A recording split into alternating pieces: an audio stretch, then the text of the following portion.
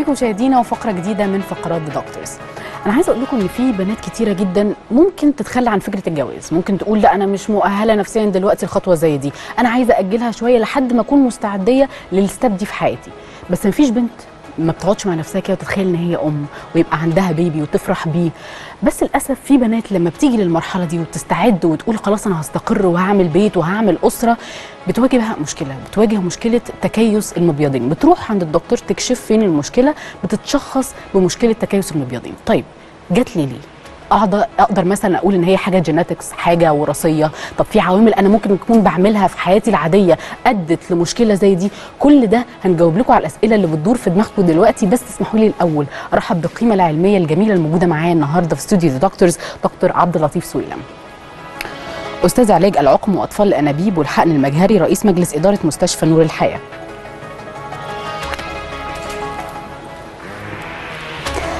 أهلا بيك يا دكتور ومنورنا دايما في الدكتورز أول حاجة بقى يا دكتور أنا عايز أعرف موضوع تكيس المبيضين ده بقى منتشر في وسط البنات كلها وفي سن صغير ليه؟ طبعا هو تكيس المبيضين آه، ده من الأمراض ال- ال- ال- ال- اللي منتشرة فعلا. ولكن لما نقول ال ال ال الإحصائية بتاعته كام على مستوى العالم؟ تقريبا بقى؟ 10% من الستات على مستوى العالم okay. ممكن يجي لها تكيس في المبيضين. ولكن تكيس المبيضين تعريفه هو عبارة عن خلل في الهرمونات بتاعة التبويض تمام. أدى إلى عدم حدوث التبويض في الدورة الشهرية. أوكي. مرة ورا مرة ورا مرة. مم. فتكون أكياس صغيرة حجمها بويضات يعني مم. حجمها لا يزيد عن 10 ملي من 10 إلى 12 ملي أو أقل في المبيض. كل المبيضين مش مبيض ومبيض. أوكي. وده أدى إلى تأخر الدورة الشهرية. تمام. ده تعريف تكيس المبيضين. التشخيص بقى بتاعه بيتم لكن إزاي؟ لكن آه، ما هقول لسيادتك. اتفضل يا فندم. مهم جدا إن إحنا نعرف التشخيص لأنه التشخيص الخاطئ بيدينا انطباع إنه تكيس المبيضين ده آه، مال الدنيا وكل آه، الستات عندها بالظبط. تكيس مبيضين لا ده من سوء التشخيص. لابد إن إحنا نعرف إن إزاي نشخص تكيس المبيضين. تكيس المبيضين لازم يبقى في عندي دورة شهرية مش منتظمة. okay. هذه الدورة الشهرية اللي مش منتظمة بشرط إنه إيه ما؟ يبقاش واحدة لسه آه، دخلت عندها البلوغ. مثلا؟ آه okay. وفي خلال ثلاث سنين من البلوغ الدورة الشهرية وارد طبيعي جدا ما تبقاش منتظمة. أول ثلاث سنين بعد البلوغ. بالظبط. وارد جدا إنها ما تبقاش منتظمة خالص. تمام. ما أقدرش أقول لدي أنت عندك تكيس مبيضين حتى لو عملت لها موجات صوتية والموجات الصوتية أثبتت إنه في أكياس صغيرة وكده. لأنه ده قد يكون normal event يعني حاجة, حاجة طبيعية في طبيعية جسمها. في آه. هذا السن. تمام. لغاية لما يبدأ المبيض يحس يصلح نفسه بنفسه. تمام. يبقى اذا لو إحنا شخصنا يبقى إحنا كده over أوكي. لكن علشان أقول بقى تكيس مبيضين يبقى في لخبطة في الدورة الشهرية. قد إيه بقى؟ أقل أقل عدد في الدورة الشهرية 21 يوم okay. أكتر عدد 35 يوم. افرضي زادت عن كده يبقى ده بنقول تكيس مبيضين تمام. أو لخبطة في الدورة الشهرية. بمعنى أو في حاجة تانية يعني. إيه بقى؟ لو الست دي أو البنت دي جالها في السنة عدد مرات الدورة الشهرية 8 8 مرات فأقل. يبقى دي بقول. في تغيب في الدورة الشهرية وده قد يكون ناتج عن تكيس المبيضين. ولازم يبقى في عندي علامة من العلامات الأخرى. إيه بقى؟ اللي هو نتيجه لأنه تكيس المبيضين بيبقى مصحوب بارتفاع في الهرمون هرمونات الذكورة. تمام. لما هرمونات الذكورة ترتفع عند الب... الب... ال- يبقى ده ممكن يكون مؤشر. بالظبط ممكن ده يديني علامة كلينيكية اللي هو العلامة اللي الدكتور يشوفها اللي هو ألاقي مثلا زي شعر في ال- الوجه أو في بيطلع في الشنب أماكن مش مش البنت ط- هي. بالنسبة آه. للبنات. أدي واحد. نمرة اتنين قد يكون هناك الحبوب حب الشباب ال- الجامد. okay. آه، ده برضو علامة من طب ما. يعرفوا منين بقى؟ يا دكتور هيقولوا طب ما دي مرحلة طبيعية وأنا في العشرينات وبيطلع لي حب شباب يكشف ويعرف. okay كل الحاجات دي جنب بعض. المرضي طبعا. دي دي جنب دي جنب دي. okay. قد يكون تساقط الشعر لدرجة إن هو أحيانا يعمل صلع لأنه. ده من زيادة هرمون ال- ال- الذكورة. الذكورة آه. نفترض الواحده عندها تكيس مبيضين ولكن ما عندهاش علامة من هذه العلامات. تمام. أعمل إيه؟ نعرف منين بتحليل الهرمون هرمونات الذكورة. يعني أي حد دلوقتي بيتفرج علينا يقول طب أنا قلقانه لا يكون عندي الموضوع ده. تروح تعمل تحليل بالظبط اسمه لا إيه؟ بس بشرط. إيه بقى؟ بشرط انه يبقى في لخبطة في الدورة الشهرية لكن مش واحدة عندها حب الشباب والدورة الشهرية بتاعتها منتظمة تروح تعمل تحليل لهذا الهرمون. طب والبنات اللي. برضو هتقول دلوقتي أصل أنا بقالي شهر في التاني بتتأخر مرة يومين بتأخر مرة خمس أيام ده إيه بقى؟ علامة لإيه؟ لا ما هو ده برضو قد يكون علامة من علامات تكيس المبيضين أوكي ولكن. مصحوب برضو إن أنا لازم أعمل لها موجات فوق صوتية تمام. والموجات الصوتية تس...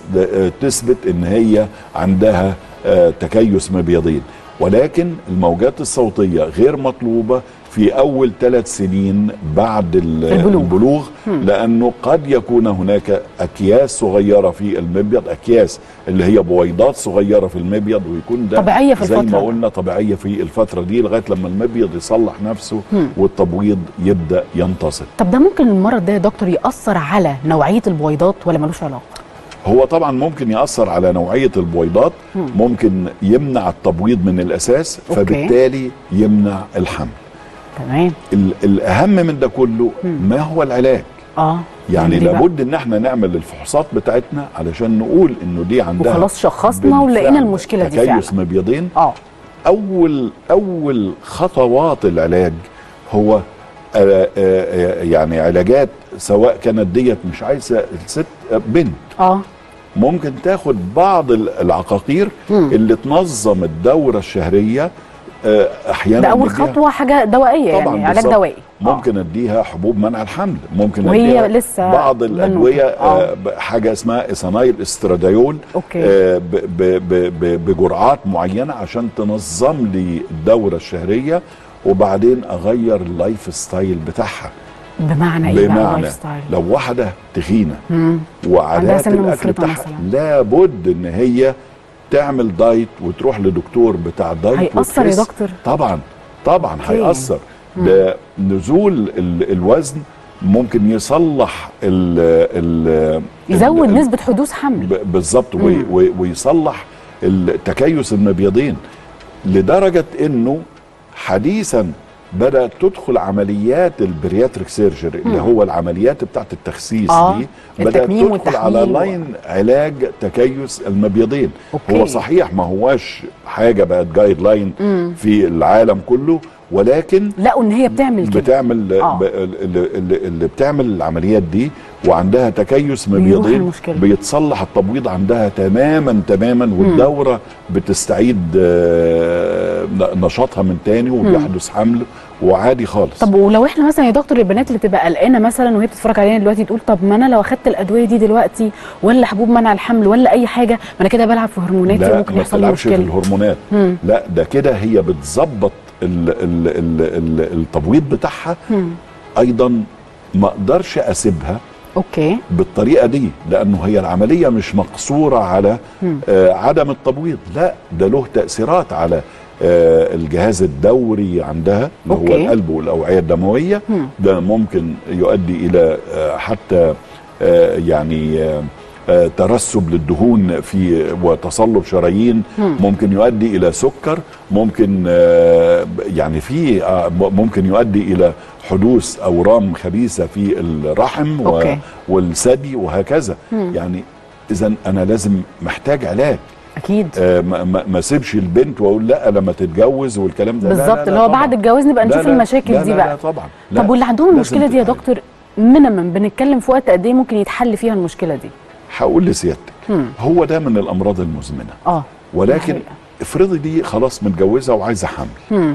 فقلنا لو تخينة لازم تخس. فياخد الديوريشن بتاعها وقتها. بالظبط. وبعدين نبدأ ندي تنشيط بالعقاقير العادية خالص. اللي هو بالأدوية اللي بتتاخد بالبق. ونشوف الاستجابة بتاعتها. بالظبط. ونشوف استجابتها. تمام. واستجابتها متابعة تبويض ممكن أدي حقن. ممكن أدي عقار اسمه ال metformin. okay. ده بيزود لي الخصوبة آه، أو بيزود لي التبويض وهكذا. ممكن ألجأ إذا فشل ده كله في بعض الحالات إلى منظار البطن لكن okay. مش هو ال line الأساسي. مش هو ده ال line الأساسي. لا طبعا. okay. لا طبعا. تمام. ممنوع. ممنوع. لا ولو هعمل منظار بطن يبقى لازم أعرف وأقول للست أو البنت اللي, اللي جاية دي إنه منظار البطن مخاطره إيه وأنا بعمل كي للمبيضين وده اللي هنعمل ف- عليه بالظبط segment كبيرة جدا جدا لازم. عشان برضو ناس كتيرة بتسأل عليه. لازم ده مهم جدا. انت نورتني. النهارده يا دكتور وبشكرك. شكرا جزيلا. أهلا وسهلا. بشكر دكتور عبد اللطيف سويلم أستاذ علاج العقم وأطفال الأنابيب والحقن المجهري رئيس مجلس إدارة مستشفى نور الحياة. بشكرك شكرا جزيلا دكتور عبد اللطيف. شكرا. مشاهدينا بكده تكون خلصت فقرتنا. أشوفكم على خير إن شاء الله في رعاية الله.